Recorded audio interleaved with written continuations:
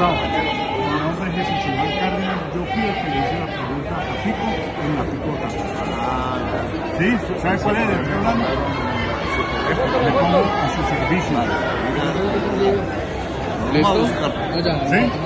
Está negociando votos por rebajas de penas con los peores corruptos y los peores asesinos del país. Doctor Federico, permítame, doctor Federico, usted qué tiene que decir que mientras que la autora Claudia Carrasquilla Miniani investigaba a Gustavo Villegas, usted invitó a todos los fiscales de esa unidad a Medellín, al, al Hotel Intercontinental, con pago de pasajes y con pago de todos los gastos.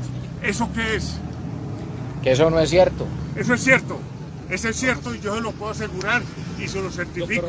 Federico, quiero cambiarle de tema para preguntarle por un trino que usted puso esta mañana y es con el tema de los animales.